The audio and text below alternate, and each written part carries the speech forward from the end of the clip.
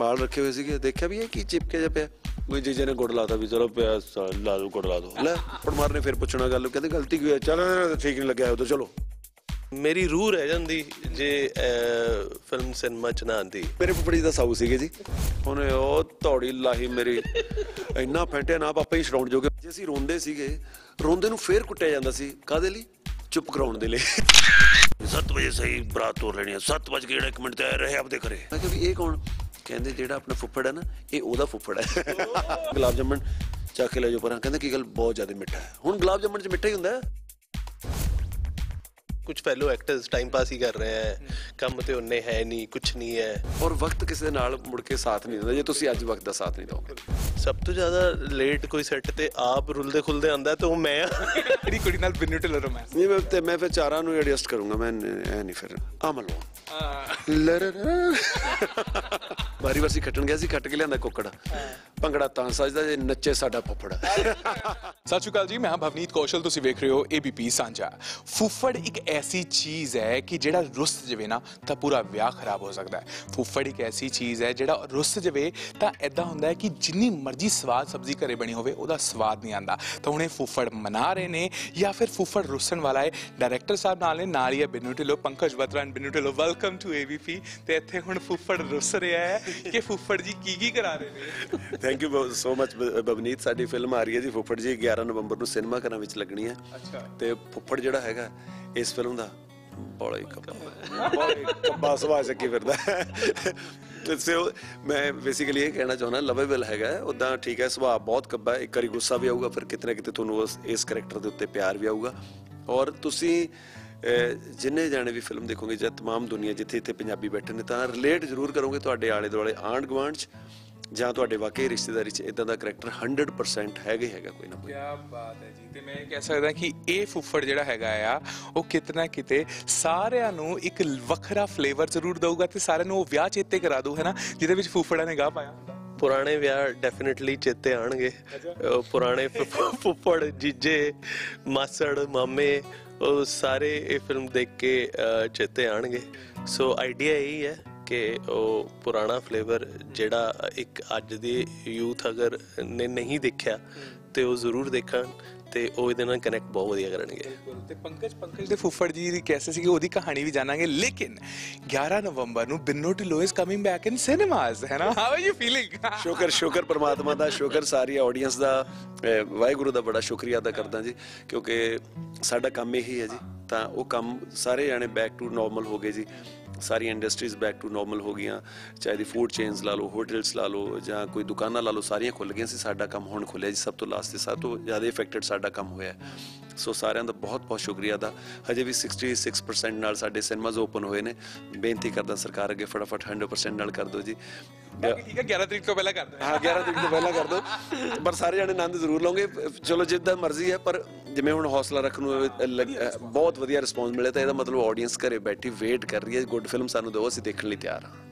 ਤੇ ਨਾਲੇ ਅਹ, ਜਦ ਸਿਨੇਮਾ ਘਰ ਦੇ ਵਿੱਚ ਫਿਲਮ ਆਉਣੀ ਹੁੰਦੀ ਹੈ ਜਦ ਪੰਕਜ ਫਿਲਮ ਬਣਾ ਰਹੇ ਸੀ ਹੈਨਾ ਕੁਝ ਮੇਰੇ ਕੁਝ ਪਾਰਟ ਪੈਂਡੇਮਿਕ ਦੇ ਦੌਰਾਨ ਵੀ ਸ਼ੂਟ ਕਰਨਾ ਜਿਹੜਾ ਰਹਿ ਗਿਆ ਸੀ ਹੈਨਾ ਤਾਂ ਉਹ ਸਾਰੀ ਚੀਜ਼ਾਂ ਤੁਸੀਂ ਕੀਤੀਆਂ ਤੇ ਉਸ ਟਾਈਮ ਸੀਗਾ ਕਿ ਯਾਰ ਮੇਰੀ ਫਿਲਮ ਸਿਨੇਮਾ 'ਚ ਹੀ ਲੱਗੇ ਬਸ 100% ਕਿਉਂਕਿ ਮੈਂ ਬਹੁਤ ਕੰਸਰਨ ਸੀਗਾ ਮੈਂ ਕਿ ਅਹ, ਕਿਤੇ ਨਾ ਕਿਤੇ ਨਾ ਸਾਨੂੰ ਸਾਰਿਆਂ ਨੇ ਨੂੰ ਸਿਨੇਮਾ ਨੇ ਬਣਾਇਆ ਹੈ। ਅੱਜ ਇੱਕ ਛੋਟਾ ਮੋਟਾ ਨਾਮ ਹੈ ਜਾਂ ਲੋਕ ਪਿਆਰ ਕਰਦੇ ਆ ਤੇ ਉਹ ਅਹ, ਸਿਨੇਮਾ ਕਰਕੇ ਕਰਦੇ ਆ ਔਰ ਮੇਰੀ ਰੂਹ ਰਹਿ ਜਾਂਦੀ ਜੇ ਅਹ, ਫਿਲਮ ਸਿਨੇਮਾ ਮੱਚ ਨਾ ਆਂਦੀ ਮੇਰਾ ਮਨ ਖਰਾਬ ਹੋ ਜਾਂਦਾ। ਸੋ ਮੈਂ ਤਾਂ ਰੋਜ਼ ਸਵੇਰੇ ਸ਼ਾਮ ਹੀ ਦੁਆ ਕਰਦਾ ਰਿਹਾ ਕਿ ਚੀਜ਼ਾਂ ਸਿਨੇਮਾ 'ਚ ਹੀ ਆਉਣੀਆਂ ਚਾਹੀਦੀਆਂ। ਸੋ ਟੱਚ ਵੁੱਡ ਸਿਨੇਮਾ 'ਚ ਆ ਰਹੀ ਹੈ I'm very happy last film ਤੁਸੀਂ ਕਿਹੜੀ ਸਿਨੇਮਾ ਦੇ ਵਿੱਚ ਦੇਖੀ ਸੀਗੀ?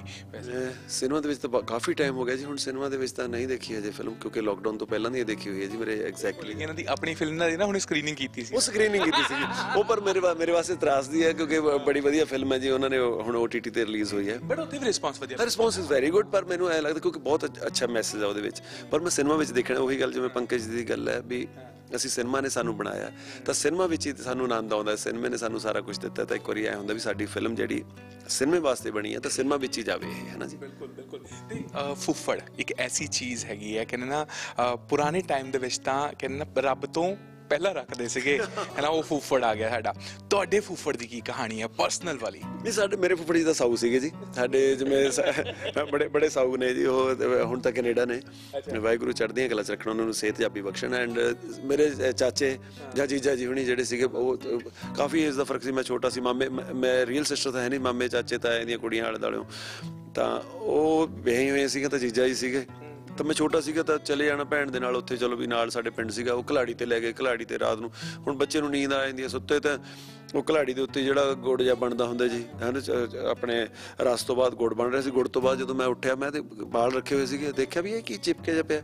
ਕੋਈ ਜੀਜੇ ਨੇ ਗੁੜ ਲਾਤਾ ਵੀ ਚਲੋ ਪਿਆ ਸ- ਲਾ ਦੋ ਗੁੜ ਲਾ ਦੋ ਲੈ। ਅਸੀਂ ਇਹੋ ਜਿਹੀਆਂ ਗੱਲਾਂ। ਤਾਂ ਇੱਕ ਚਾਚੇ ਨੇ ਮੈਨੂੰ ਹੀ ਪੈਣ ਦਾ ਪਹਿਲਾਂ ਦੋ ਥੱਪੜ ਮਾਰਨੇ ਫਿਰ ਪੁੱਛਣਾ ਗੱਲ। ਕਹਿੰਦੇ ਗਲਤੀ ਕੀ ਹੋਈ? ਚੱਲ ਠੀਕ ਨਹੀਂ ਲੱਗਿਆ ਉਧਰ ਚਲੋ ਉਹੀ। ਅੱਛਾ। ਉਹੀ ਬਿਨਾਂ ਗੱਲ ਤੋਂ ਕੁੱਟੀ ਜਾਂਦੇ ਹੁੰਦੇ। ਤਾਂ ਇੱਕ ਮੇਰੇ ਚ- ਚਾਚਾ ਜੀ ਸੀਗੇ ਤਾਂ ਅਹ ਜਦੋਂ ਮੇਰੇ ਡੈਡ ਉਸ ਤੋਂ ਆਏ ਜੀ ਕੰਮ ਤੋਂ ਇਲੈਕਟ੍ਰਿਸਿਟੀ ਬੋਰਡ ਸੀਗੇ ਰਿਟਾਇਰ ਨੇ ਹੁਣ ਤਾਂ ਜੀ ਉੱਥੋਂ ਆਏ। ਇਹ ਤਾਂ ਜੀ ਫੁੱਫ- ਜਿਹੜੇ ਚਾਚਾ ਜੀ ਪਹਿਲਾਂ ਆਏ ਬੈਠੇ ਸੀ, ਉਹ ਮਿਲਟਰੀ ਸੀਗੇ। ਤਾਂ ਜਦੋਂ ਫਟਾਫਟ ਉਹ ਕਹਿੰਦੇ ਉਹ ਉਰੇ ਭੱਜ ਕੇ ਮੈਨੂੰ ਫਟਾਫਟ ਗਲਾਸ ਰੱਖੇ ਤੇ ਤੇ ਪਹਿਲਾਂ ਪਿਆ ਸੀ ਕਿ, ਚਾਹ ਪਿਆਤੀ ਸੀਗੀ ਜੀ। ਗਲਾਸ ਰੱਖੇ ਤੇ ਜਾਣ ਦੀ ਕੋਈ ਆਪਦਾ। ਮੈਨੂੰ ਕਹਿੰਦੇ ਆ ਪੱਗ ਤੂੰ ਉਧਰ ਰੱਖ ਦੇ। ਮੈਂ ਕਿਤੇ ਉਹੀ ਬੱਚੇ ਵਾਲੇ ਹਿਸਾਬ ਨਾਲ ਇੱਕ ਹੱਥ ਨਾਲ ਪੱਗ ਫੜੀ ਰੱਖਤੇ ਹੁਣ ਉਹ ਚਾਚਾ ਬੋਲ ਰਿਹਾ, ਕਹਿੰਦਾ ਇਹਨੇ ਪੱਗ ਇੱਕ ਹੱਥ ਨਾਲ ਫੜੀ ਆ ਬੇਟੇ ਨੇ। ਇਹਨੂੰ ਸਿਖਾ ਦਾਂ ਮੈਂ ਵੀ ਪੱਗ ਕਿੱਦਾਂ ਫੜੀ ਜਾਂਦੀ ਆ। ਪਾਪੇ ਕਿਹਾ ਹਾਂ ਕਹਿੰਦੇ ਵੀ ਮਿਲਟਰੀ ਹੋਇਆ ਦੱਸੂਗਾ ਬੜੇ ਵਧੀਆ ਤਰੀਕੇ ਨਾਲ ਵੀ ਕਹਿੰਦੇ ਦੱਸ ਦੇ। ਉਹਨੇ ਉਹ ਧੌੜੀ ਲਾਹੀ ਮੇਰੀ। ਇੰਨਾ ਫੈਂਟਿਆ ਨਾ ਪਾਪਾ ਹੀ ਛਡਾਉਣ ਜੋਗੇ ਮੇਰੇ ਦਾਦੀ ਉਹਨਾਂ ਨੇ ਮੇਰੇ ਦਾਦਾ ਜੀ ਨੇ ਛੜਾਇਆ ਉਹ ਵੀ ਗਵਾਂਢੀਆਂ ਦੇ ਘਰੇ ਭੱਜ ਕੇ ਗਿਆ ਫਿਰ ਛੱਡਿਆ। ਸੱਚੀਓ ਬਹੁਤ ਫੈਂਟਿਆ। ਬਹੁਤ ਫੈਂਟਿਆ। ਉਹੀ ਕੁੱਟ ਦਿੰਦੇ ਸੀ ਕਿਹੜਾ ਕੋਈ ਪੁੱਛਦਾ ਸੀਗਾ। ਇਹ ਨਹੀਂ ਸਿੱਧਾ ਹੋਇਆ ਬਿੰਨੂ ਢਿੱਲੋਂ? ਵੈਸੇ ਬਹੁਤ ਕੁੱਟ ਖਾਦੀ ਹੈ ਬਚਪਨ ਹੀ ਕੁੱਟੀ ਜਾਂਦੇ ਸੀਗੇ ਹੀ ਕੁੱਟਦੇ ਰਹਿੰਦੇ ਸੀਗੇ। ਜੀ ਤੁਸੀਂ ਐਂ ਦੇਖੋ ਵਕਤ ਬੜਾ ਵਧੀਆ ਸੀਗਾ। ਉਦੋਂ ਹੁਣ ਤਾਂ ਅਸੀਂ ਰਿਲੇਟ ਕਰਦੇ ਹਾਂ ਵੀ ਬਦਾਮ ਮੂੰਹ ਚ ਤੁੰਨਦੇ ਆ ਬੱਚਿਆਂ ਦੇ ਵਟਐਵਰ ਦੇ ਬੌਂਡ ਲਾਈਕ ਆਪਣੇ ਨਾਲੋਂ ਜ਼ਿਆਦਾ ਦੇਣ ਦੀ ਕੋਸ਼ਿਸ਼ ਕਰਦੇ ਆ ਜੇ ਅਸੀਂ ਰੋਂਦੇ ਸੀਗੇ, ਰੋਂਦੇ ਨੂੰ ਫੇਰ ਕੁੱਟਿਆ ਜਾਂਦਾ ਸੀ। ਕਾਦੇ ਲਈ? ਚੁੱਪ ਕਰਾਉਣ ਦੇ ਲਈ। ਹੈਨਾ ਨਹੀਂ ਰੋਂਦੇ ਤਾਂ ਆਪਾਂ ਹੁਣ ਅੱਜ ਕਿਹੜੇ ਬੜੇ ਪਿਆਰ ਨਾਲ ਚੁੱਪ ਕਰਾਉਂਦੇ ਉਦੋਂ ਫੇਰ ਕੁੱਟ ਕੇ ਚੁੱਪ ਕਰਾਉਂਦੇ ਸੀਗੇ ਵੀਰ ਹਨਾ ਚੁੱਪ ਕਰ ਜਾ ਤੂੰ। ਉਹ ਪਿਆਰ ਸੀ। ਜਿਹੜੀ ਰਿਲੇਸ਼ਨਸ ਨੇ ਇਹ ਪੰਕਜ ਦੀਆਂ ਫਿਲਮਾਂ 'ਚ ਪਹਿਲਾਂ ਵੀ ਵੇਖਣ ਨੂੰ ਮਿਲਦੇ ਨੇ। ਵੈਸੇ ਤੁਹਾਡੀ ਦੋਹਾਂ ਦੀ ਜਿਹੜੀ ਜੋੜੀ ਹੈਗੀ ਉਹ ਬੱਬੂ ਕਾਰਟ ਦੇ ਵਿੱਚ ਵੀ ਸੀਗੀ ਹੈ। ਨਾ ਕੰਮ ਕੀਤਾ। ਲੇਕਿਨ ਚੰਨੋ ਗੰਬਲੀ ਜਾਰਦੀ ਸਰ। ਫਿਰ ਅ, ਗੋਰੇ ਨੂੰ ਦਫਾ ਕਰੋ ਨੋਟੀ ਜਰਟਸ ਦੈਨ ਬੰਬੂ ਕਾਟ ਹੁਣ ਇਹ ਫਿਲਮ ਹੈ ਮੈਂ ਕੋਈ ਲਾਸਟ ਫਿਲਮ ਤੁਹਾਡੀ ਦੋਨੋਂ ਇਕੱਠਿਆਂ ਦੀ ਬੰਬੂ ਕਾਰਟ ਸੀਗੀ ਹੈ ਨਾ ਤੇ ਰਿਸ਼ਤੇ ਤੁਹਾਡੀ ਫਿਲਮਾਂ ਦੇ ਵਿੱਚ ਹਮੇਸ਼ਾ ਹੁੰਦੇ ਨੇ। ਔਰ ਖਾਸ ਕਰ ਥੋੜੇ ਟੇਡੇ ਮੇਡੇ ਚਾਹੇ ਗੋਰੇ ਦਫਾ ਕਰੋ ਦੀ ਗੱਲ ਕਰ ਲਓ ਚਾਹੇ ਬੰਬੂ ਕਾਰਟ ਦੀ ਗੱਲ ਕਰੀਏ ਕੀ ਤੁਹਾਡੇ ਰਿਸ਼ਤੇਦਾਰਾਂ ਨੇ ਬਹੁਤ ਪਰੇਸ਼ਾਨ ਕੀਤਾ ਹੋਇਆ ਬਤਰਾ ਸਾਹਿਬ? ਨਹੀਂ ਮੇਰੇ ਰਿਸ਼ਤੇਦਾਰਾਂ ਨੇ ਮੈਨੂੰ ਬਿਲਕੁਲ ਨਹੀਂ ਪਰੇਸ਼ਾਨ ਕੀਤਾ ਪਰ ਇਹ ਐਜ਼ ਐਨ ਮੇਕਰ ਮੈਂ ਬੜਾ ਦੇਖਿਆ ਪੰਜਾਬ 'ਚ ਟਰੈਵਲ ਕਰਕੇ ਬੜੇ ਸਾਰੇ ਵਿਆਹਾਂ 'ਚ ਜਾ ਕੇ। ਕਿਹੜਾ ਵਿਆਹ ਨਹੀਂ ਭੁੱਲਦਾ ਪੰਕਜ? ਬਹੁਤ ਸਾਰੇ ਮਤਲਬ ਇਨ ਦ ਸੈਂਸ ਕਿ ਆਪਣੇ ਰਿਸ਼ਤੇਦਾਰਾਂ ਦੇ ਵਿਆਹ ਪਰ ਜਿੱਦਾਂ ਤੁਸੀਂ ਯਾਰਾਂ ਦੋਸਤਾਂ ਦੇ ਵਿਆਹ ਤੇ ਵੀ ਜਾਂਦੇ ਹੋ ਇਹ ਜਿਹੇ ਟੇਡੇ mayday characters as an film maker ਮੈਂ ਹਮੇਸ਼ਾ ਨੋਟਿਸ ਕਰਦਾ। ਮਤਲਬ ਅੱਜ ਜੇ ਤੁਸੀਂ ਫਿਲਮ ਦੇਖੋਗੇ ਤਾਂ ਜਦੋਂ ਆਡੀਅנס ਦੇਖੇਗੀ ਗੁਰਨਾਮ ਭਾਜੀ ਤੇ ਬਿੰਨੂ ਭਾਜੀ ਦਾ ਕੈਰੈਕਟਰ ਤਾਂ ਐ ਲੱਗੇਗਾ ਯਾਰ ਸਾਡੇ ਚੋਂ ਕੋਈ ਨਾ ਕੋਈ ਇੱਕ ਅੱਧਾ ਇਦਾਂ ਇਦਾਂ ਦਾ ਹਰ ਵਿਆਹ 'ਚ ਮਿਲ ਹੀ ਜਾਂਦਾ। ਸੋ ਇਹਦੀ ਰਿਲੇਟੇਬਿਲਟੀ ਹੋਈ ਹੈ। ਬੰਬੂ ਘਾਟ ਵੀ ਤਾਂ ਹੀ ਇੰਨੀ ਪਸੰਦ ਕੀਤੀ ਗਈ ਸੀਗੀ। ਜਾਂ ਗੋਰਿਆਂ ਨੂੰ ਦਫਾ ਕਰੋ ਵੀ ਕਿ ਕਿਉਂਕਿ ਜਿਹੜੇ ਦੇਖਣ ਵਾਲੇ ਸੀਗੇ, ਉਹਨਾਂ ਨੂੰ ਲੱਗਦਾ ਸੀਗਾ ਕਿ ਇਹ ਸਾਡੀ ਆਪਣੀ ਕਹਾਣੀ ਹੈ। ਸੋ ਮਾਈ ਆਈਡੀਆ ਇਜ਼ ਕਿ ਆਪਾਂ ਆਪਣਾ ਕਲਚਰ ਆਪਣੀ ਕਹਾਣੀ, ਆਪਣੇ ਕੈਰੈਕਟਰਸ ਲੋਕਾਂ ਨੂੰ ਐਂਟਰਟੇਨਿੰਗ ਵੇ ਨਾਲ ਦਈਏ। ਸੋ ਦੈਟ ਲੋਕ ਕਨੈਕਟ ਕਰ ਪਾਣ ਸੋ ਦਿਸ ਇਜ਼ ਦਾ ਆਈਡੀਆ ਬਿਲਕੁਲ ਲੇਕਿਨ ਇੱਕ ਕਨੈਕਸ਼ਨ ਜਿਹੜਾ ਖਾਸ ਤੌਰ ਤੇ ਰਿਸ਼ਤੇਦਾਰਾਂ ਦਾ ਸਭ ਤੋਂ ਵੱਡਾ ਹੁੰਦਾ ਵਿਆਹਾਂ ਦੇ ਵਿੱਚ ਮੈਨੂੰ ਵੀਰੇ ਕਿਹੜਾ ਵਿਆਹ ਜਿਹੜਾ ਤੁਹਾਨੂੰ ਕਦੇ ਨਹੀਂ ਭੁੱਲਦਾ ਇੱਕ ਨਾ ਇੱਕ ਵਿਆਹ ਹੁੰਦਾ ਆ ਜਿਹੜਾ ਲਾਈਕ ਕਦੇ ਨਹੀਂ ਭੁੱਲਦਾ ਮੈਨੂੰ ਕੋਈ ਬਹੁਤ ਵਿਆਹ ਨੇ ਮੇਰੀ ਜ਼ਿੰਦਗੀ ਦੇ ਤਾਂ ਬੜੇ ਜ਼ਿਆਦਾ ਵਿਆਹ ਨੇ ਜੀ ਮੈਂ ਹੁਣੇ ਇੱਕ ਦੱਸ ਆਪਣਾ ਨਹੀਂ ਭੁੱਲਦਾ ਹੋਣਾ ਨਾ ਆਪਣਾ ਤਾਂ ਆਪਣਾ ਤਾਂ ਕਿਸੇ ਨੂੰ ਵੀ ਨਹੀਂ ਭੁੱਲਣਾ ਤੇ ਸਾਡੇ ਗਵਾਂਢ ਦੇ ਵਿੱਚ ਮਿਲਟਰੀ ਤੋਂ ਰਿਟਾਇਰ ਸੀਗੇ ਜੀ ਫੁੱਫੜ ਜੀ ਉਹਨਾਂ ਨੂੰ ਫੁੱਫੜ ਜੀ ਉਹ ਕਹਿੰਦੇ ਹੁੰਦੇ ਸਾਰਾ ਮਹੱਲਾ ਤੇ ਉਹ ਬੜੇ ਸਟ੍ਰਿਕਟ ਸੀਗੇ ਆਪਦੇ ਲੈਵਲ ਦੇ ਉੱਤੇ। ਉਹਨਾਂ ਨੇ ਸਵੇਰੇ ਬਰਾਤ ਤੋਰਨੀ ਬੱਸ ਵਿੱਚ ਬਰਾਤ ਜਾਂਦੀ ਹੁੰਦੀ ਉਹਨਾਂ ਵੇਲੇ। ਤੇ ਹੀ ਸੈਡ ਰਾਤ ਨੂੰ ਉਹਨਾਂ ਨੇ ਮਾਈਕ ਫੜਿਆ ਤੇ ਬੋਲਿਆ ਸਵੇਰੇ 7 ਵਜੇ ਬਰਾਤ ਸਹੀ ਤੋਰ ਲੈਣੀ ਹੈ ਮੈਂ। ਦੱਤਾ ਸਾਹਿਬ ਉਹਨਾਂ ਦਾ ਨਾਮ ਦੱਤਾ ਸਾਹਿਬ ਹੀ ਕਹਿੰਦੇ ਹੁੰਦੇ। ਤਾਂ ਸਵੇਰੇ ਮੈਂ ਸਵੇਰੇ 7 ਵਜੇ ਉਹਨਾਂ ਦੇ ਆਇਆ ਬਾਤ ਸੀਗੀ 7 ਵਜੇ ਸਹੀ ਬਰਾਤ ਤੋਰ ਲੈਣੀ ਹੈ 7 ਵਜੇ ਕਿਹੜਾ 1 ਮਿੰਟ ਤੇ ਆਏ ਰਹੇ ਆਪਦੇ ਘਰੇ। ਅੱਛਾ। ਤੇ ਸਾਰੇ ਮਹੱਲੇ ਨੇ ਸੁਣ ਲਿਆ ਅਨਾਉਂਸਮੈਂਟ ਹੋਈ। ਤਾਂ ਸਾਰਿਆਂ ਨੂੰ ਬੁਲਾਇਆ ਬੁਲਾਇਆ ਸੀ ਸਾਰਿਆਂ ਨੂੰ ਪਤਾ ਸੀ 7 ਵਜੇ ਉੱਥੇ ਪਹੁੰਚਣਾ। ਹੈ। ਤਾਂ ਅਸੀਂ ਬੱਚੇ ਸੀਗੇ ਸੰਸਥਾ ਜਾਣਾ ਹੀ ਸਾਰੇ ਜਾ ਰਹੇ ਜਾਂਦੇ ਹੁੰਦੇ ਸੀਗੇ ਬੱਸ ਦੇ ਵਿੱਚ, ਸਾਰੇ ਬੈਠੇ, ਸਾਰੇ ਐ ਬੱਸ ਤੋਰ ਕੇ ਉਹਨੇ ਇੱਕ ਬੰਦਾ ਤੁਰਿਆ ਫਿਰ ਰਿਹਾ, ਉਧਰ ਪੂਣੀ ਕਰਾ ਰਿਹਾ ਇਸ ਵੇਲੇ। ਸਾਰੇ ਲੋਕ ਜਿਹੜੇ ਜਿਹੜੇ ਫੁੱਫੜ ਜੀ ਉਹ ਵੀ ਥੱਲੇ ਖੜੇ, ਉਹਨੂੰ ਦੇਖ ਰਹੇ ਨੇ ਔਰ ਕੁਝ ਬੋਲ ਵੀ ਨਹੀਂ ਰਹੇ, ਐ ਘੜੀ ਦੇਖ ਰਿਹਾ, ਕਦੇ ਉਹ ਕਰੇ, ਮਾਮੇ ਥੈਲੀ ਚੱਕੀ ਖੜੇ ਪੈਸੇ ਪੂਸੇ ਵਾਲੇ ਵੀ ਉੱਥੇ ਜਾ ਕੇ ਸਿੱਟਾਂਗੇ। ਫਿਰ ਦੇਖਿਆ ਉਹਨੇ ਅੰਦਰ ਜਾ ਕੇ ਜੋ ਪੱਗ ਬੰਨ ਲਈ, ਫਿਰ ਜ਼ਿਆਦਾ ਕੱਪ ਚੱਕ ਲੈਂਦਾ। ਤਾਂ ਇਹ ਕੰਮ ਨੂੰ 7:20 ਮਿੰਟ ਹੋ ਗਏ ਹੋਣਾ, ਬਤੌਰ ਬੱਚਾ, ਹੋਰ ਕੋਈ ਬੋਲ ਨਹੀਂ ਰਿਹਾ। ਮੈਂ ਕਿਹਾ, ਅੱਜ ਕਿਉਂ ਨਹੀਂ ਬੋਲ ਰਹੇ? ਵੀ ਸਾਰੇ ਰੇਡੀ ਬੈਠੇ ਜਾ ਕੇ ਉਹਨੇ ਤਾਂ ਸਾਰਿਆਂ ਤੋਂ ਪੁੱਛਿਆ, ਮੈਂ ਕਿਹਾ ਵੀ ਇਹ ਕੌਣ? ਕਹਿੰਦੇ ਜਿਹੜਾ ਆਪਣਾ ਫੁੱਫੜ ਹੈ ਨਾ ਇਹ ਉਹਦਾ ਫੁੱਫੜ ਹੈ। ਹਾਂ, ਮੂਰਲੀ ਟੱਕੀ ਜਾੜਿਆ ਕਰਨ ਪਿਛਲੀ ਉਤਰ ਜਾ ਕਰੇ ਪਿਛਲੀ ਜਾੜਿਆ ਕਰ ਮੂਰਲੀ ਉਤਰ ਜਾ ਕਰੇ ਬਸ ਇਹੀ ਚੜਾਈ ਹੈ ਨਾ। ਕੀ ਬਾਤ ਹੈ। ਸੋ ਇਹ this is a character like ਜਿਹਨੂੰ ਤੁਸੀਂ ਨ- ਜਿਹਦਾ ਆਨੰਦ ਲਓਗੇ ਤਾਂ ਤੁਹਾਨੂੰ ਐਂ ਲੱਗੂਗਾ ਬਾਕੀ ਸਾਡੇ ਆਲੇ ਦੁਆਲੇ ਦਾ ਹਿੱਤਾ ਹੈ, ਜਿਹਨਾਂ ਬਿਨਾਂ ਵਜ੍ਹਾ ਪਵਾੜਾ ਪਾਉਣ ਸਮਝ ਲਓ ਇਦਾਂ ਦਾ ਵੀ ਨੁਕਸ ਕੱਢ ਦਿੰਦੇ ਨੇ ਕਹਿੰਦੇ ਗੁਲਾਬ ਜਾਮਣ ਚੱਕ ਕੇ ਲੈ ਜਾਓ ਪਰਾਂ ਕਹਿੰਦੇ ਕੀ ਗੱਲ ਬਹੁਤ ਜ਼ਿਆਦਾ ਮਿੱਠਾ ਹੈ। ਹੁਣ ਗੁਲਾਬ ਜਾਮਣ ਚ ਮਿੱਠਾ ਹੀ ਹੁੰਦਾ ਹੈ। ਹੈਨਾ ਬਟ ਬਿੰਨੂ ਦੀ ਘੜੀਕੀ ਕਿੱਥੇ ਅੜਦੀ ਹੈ। ਬਿੰਨੂ ਵੈਸੇ ਤਾਂ ਵਧੀਆ ਹੈਗਾ ਆ ਸਭ ਕੁਝ ਹੈਗਾ ਹੈ, ਲੇਕਿਨ ਕਹਿੰਦੇ ਨੇ ਸਭ ਦੀ ਘੜੀਕੀ ਕਿਤੇ ਨਾ ਕਿਤੇ ਅੜਦੀ ਹੈ। ਬਿੰਨੂ ਢਿੱਲੋਂ ਦੀ ਘੜੀਕੀ ਕਿੱਥੇ ਫਸ ਜਾਂਦੀ ਹੈ? ਜਿੱਥੇ ਬਿੰਨੂ ਮੰਨਦਾ ਹੈ। ਜੇ ਤੇ ਮੈਨੂੰ ਮੈਨੂੰ ਨਾ ਟਾਈਮ ਜਿਹੜਾ ਅੱਜ ਦੇ ਤੁਸੀਂ ਦੱਸੋ।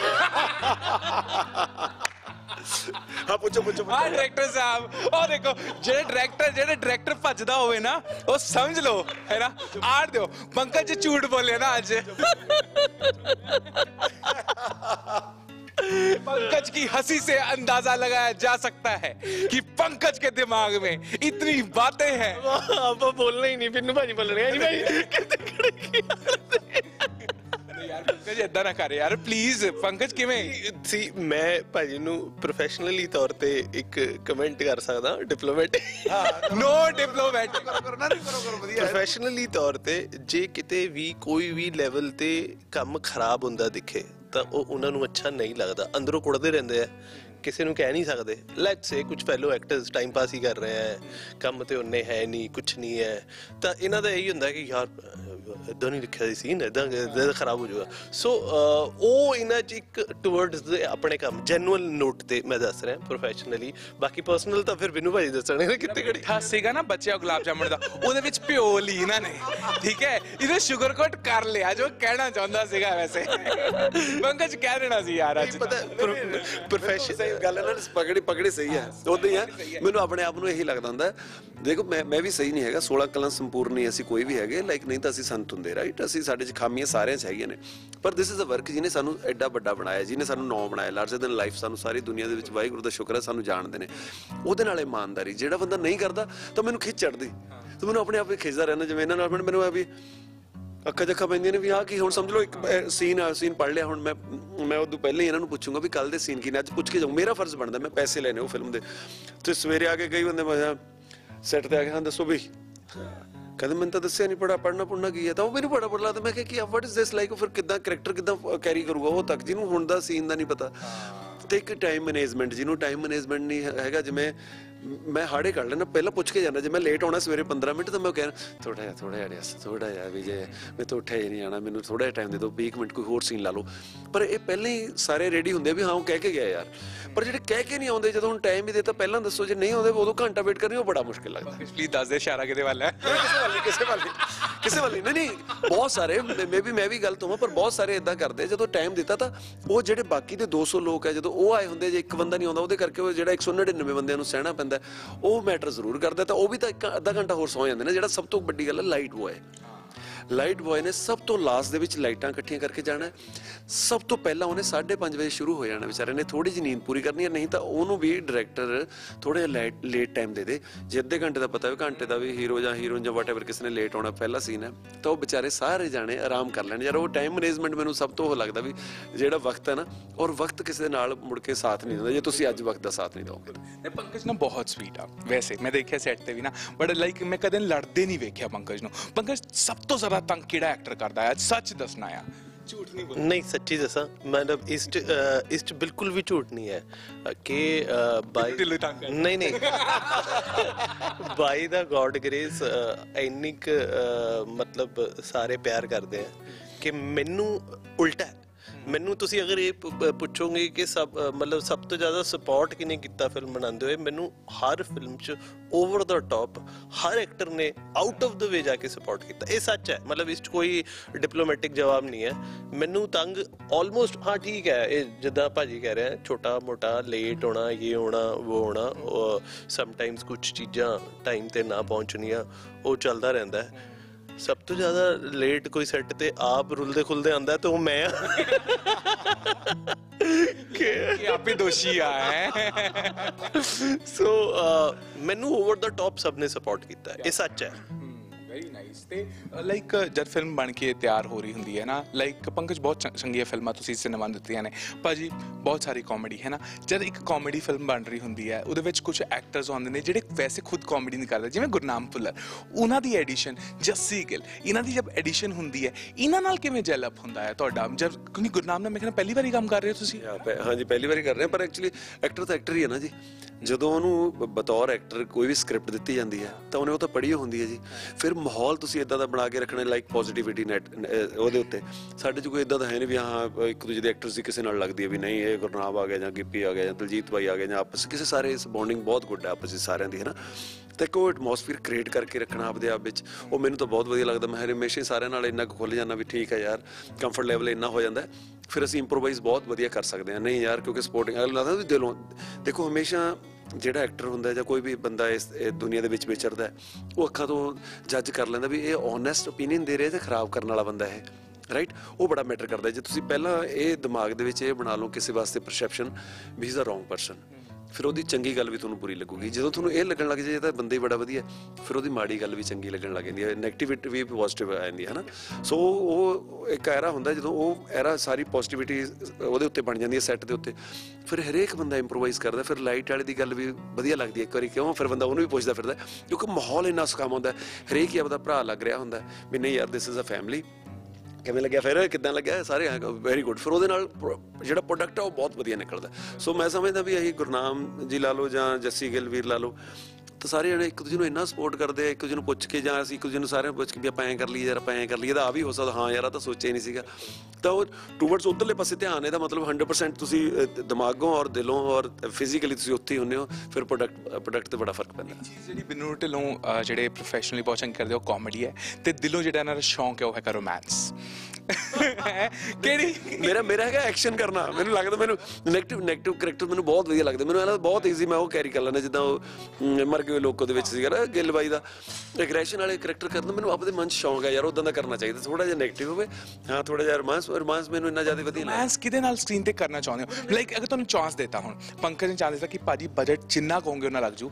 ਇੱਕ ਕੁੜੀ ਲੈ ਕੇ ਆਣੀ ਆ ਤੁਸੀਂ ਦੱਸੋ ਤੁਹਾਡੇ ਕਹੇ ਤੇ ਆਏਗੀ ਚਾਹੇ ਬਾਲੀਵੁੱਡ ਚੋਂ ਚਾਹੇ ਪੰਜਾਬ ਚੋਂ ਕਿਹੜੀ ਕੁੜੀ ਨਾਲ ਬਿੰਨੂ ਢਿੱਲੋਂ ਰੋਮਾਂਸ? ਨਹੀਂ ਮੈਂ ਤੇ ਮੈਂ ਫਿਰ ਚਾਰਾਂ ਨੂੰ ਐਡਜਸਟ ਕਰੂੰਗਾ ਮੈਂ ਐ ਨਹੀਂ ਫਿਰ ਮੈਂ ਜਦੋਂ ਬਜਟ ਤਾਂ ਹੁਣ ਕੋਈ ਪ੍ਰੋਬਲਮ ਹੀ ਨਹੀਂ ਨਾ ਫਿਰ ਮੈਂ ਕਿਉਂ? ਚਾਰ ਹੋਣਗੀਆਂ? ਚਾਰੋ ਚਾਰੋ ਹੀਰੋਇਨਸ ਮੈਂ ਇਕੱਲਾ।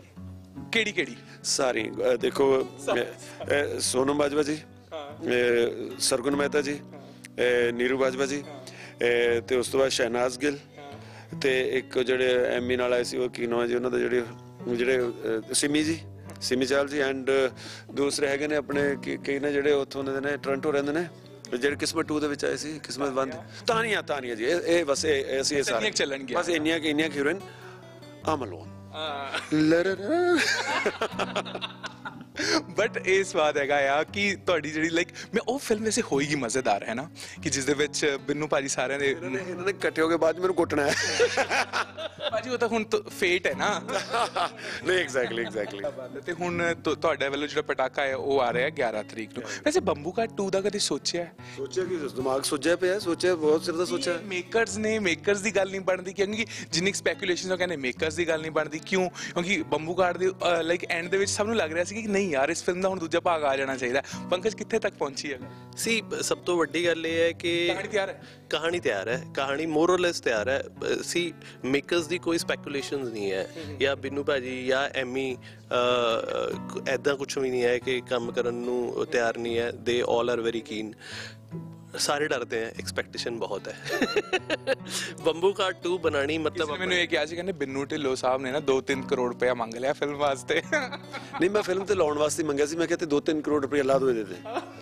ਮੈਂ ਨਹੀਂ ਮੰਗਿਆ। ਪਰ ਮੈਂ ਤਾਂ ਇਹ ਮੈਂ ਕਹਿਣਾ ਤਾਂ ਮੈਂ ਸਕਦਾ ਉਲਟਾ ਸਾਰਾ ਕੁਝ ਪੰਕਜ ਬੱਤਰਾ ਜੀ ਗਵਾਹ ਨੇ। ਮੈਂ ਸਾਰਾ ਕੁਝ ਜਿੰਨੇ ਦਾ ਵੀ ਉਹਦਾ ਬਣਦਾ ਸੀਗਾ ਮੈਂ ਕਿਹਾ I'm there for you like ਤੁਸੀਂ ਮੈਂ ਜੇ ਤੁਸੀਂ ਹੁੰਦਾ ਚਾਹੁੰਦੇ 50% I'm there for you like ਜਿੱਦਾਂ ਮਰਜ਼ੀ ਚਾਹੀਦੀ ਕੁਝ ਵੀ ਹੋ ਜੇ ਮੇਰੀ ਇੰਨੀ ਫੇਵਰਿਟ ਫਿਲਮ ਫਿਲਮ ਹੈ ਉਹ।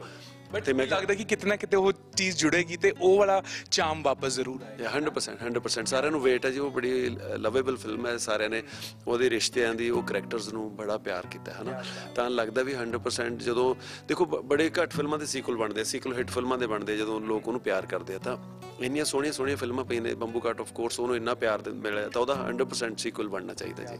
ਲੇਕਿਨ ਉਸ ਤੋਂ ਪਹਿਲਾਂ ਕਹਿੰਦੇ ਗਾ ਪੈ ਜਾਏਗਾ 11 ਤਰੀਕ। ਫੁੱਫੜ ਜੀ। ਤੇ ਫੁੱਫੜ ਜੀ ਕੁਝ ਬੋਲੀਓ ਸੁਣਾ ਦਿਓ ਅੱਜ ਜਾਣ ਤੋਂ ਪਹਿਲਾਂ ਫਿਰ ਅਸੀਂ ਬੋਲੀ ਤਾਂ ਹੁਣ ਫੁੱਫੜ ਜੀ ਵਾਲੀ ਤਾਂ ਹਜੇ ਫਿਰ ਕੋਈ ਯਾਦ ਫੁੱਫੜ ਜੀ ਤਾਂ ਬ- ਵਾਰੀ ਵਰਸੀ ਖੱਟ ਕੇ ਲਿਆਂਦਾ ਖੱਟਣ ਗਿਆ ਸੀ ਵਾਰੀ ਵਰਸੀ ਖੱਟਣ ਗਿਆ ਸੀ ਖੱਟ ਕੇ ਲਿਆਂਦਾ ਕੁੱਕੜ। ਭੰਗੜਾ ਤਾਂ ਸੱਜਦਾ ਜੇ ਨੱਚੇ ਸਾਡਾ ਫੁੱਫੜ। ਵਿਸ਼ ਯੂ 올 ਦ ਬੈਸਟ 11 ਤਰੀਕ ਨੂੰ ਜਦ ਤੁਹਾਡੀ ਫਿਲਮ ਆਵੇ ਦਰਸ਼ਕ ਉਸ ਨੂੰ ਵੇਖਣ। ਇਹ ਸਮਾਈਲ ਜਿਹੜੀ ਤੁਸੀਂ ਸਾਡੇ ਤੱਕ ਪਹੁੰਚਾਉਂਦੇ ਹੋ ਦਰਸ਼ਕਾਂ ਤੱਕ ਵੀ ਪਹੁੰਚੇ ਅਸੀਂ ਆਹੀ ਉਮੀਦ ਕਰਦੇ ਹਾਂ। ਜਾਣ ਤੋਂ ਪਹਿਲਾਂ ਕੀ ਕਹਿਣਾ ਚਾਹੋਗੇ? ਥੈਂਕ ਯੂ ਸੋ ਮਚ ਜੀ ਚੜ੍ਹਦੀਆਂ ਕਲਾ ਚ ਰੱਖੋ ਆਪਣੀ ਸਿਹਤ ਦਾ ਖਿਆਲ ਰੱਖੋ। 11 ਨਵੰਬਰ ਨੂੰ ਸਾਡੀ ਫਿਲਮ ਆ ਰਹੀ ਹੈ ਜੀ। ਸਾਰੇ ਪਰਿਵਾਰ ਦੇ ਵਿੱਚ ਬੱਚਿਆਂ ਨਾਲ ਬਜ਼ੁਰਗਾਂ ਨਾਲ ਮਾਤਾਵਾਂ ਨਾਲ ਭੈਣਾਂ ਨਾਲ ਸਾਰਿਆਂ ਨਾਲ ਬੈਠ ਕੇ ਇਹ ਫਿਲਮ ਇੰਜੋਏ ਕਰੋ ਕਿਉਂਕਿ ਫੁੱਫੜ ਬੜੇ ਕੱਬਾ ਸਵਾ ਚੱਕੀ ਫਿਰਦਾ ਹੈ।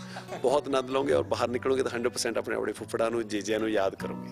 Thank you so much God bless ਜਿੱਦਾਂ ਤੁਹਾਨੂੰ ਬੰਬੂ ਘਾਟ 2 ਦੀ ਐਕਸਪੈਕਟੇਸ਼ਨ ਹੈ ਫੁੱਫੜ ਜੀ ਦੀ ਵੀ ਹੋਊਗੀ। ਵਿਸ਼ them all the best Pankaj Batra ਤੇ ਬਿੰਨੂ ਢਿੱਲੋਂ ਦੀ ਜਿਹੜੀ ਹੁਣ ਫਿਲਮ ਹੈ ਉਹ 11 ਤਰੀਕ ਨੂੰ ਆ ਰਹੀ ਹੈ। ਸਿਨੇਮਾ ਘਰਾਂ ਦੇ ਵਿੱਚ ਬਿੰਨੂ ਢਿੱਲੋਂ ਵਾਪਸੀ ਕਰਨੀ ਉਮੀਦ ਕਰਾਂਗੇ ਕਿ ਦਰਸ਼ਕਾਂ ਦਾ ਪਿਆਰ ਜ਼ਰੂਰ ਮਿਲੇ। ਹੋਰ ਕਲਾਕਾਰਾਂ ਨਾਲ ਤੁਹਾਡੀ ਮੁਲਾਕਾਤ ਕਰਾਉਂਦੇ ਰਹਾਂਗੇ। ਕੈਮਰਾਮੈਨ ਸੰਦੀਪ ਨਾਲ Bhavneet Kaushal signing off keep watching ABP Sanjha. ABP Sonja, Josh Jazba, Junoon.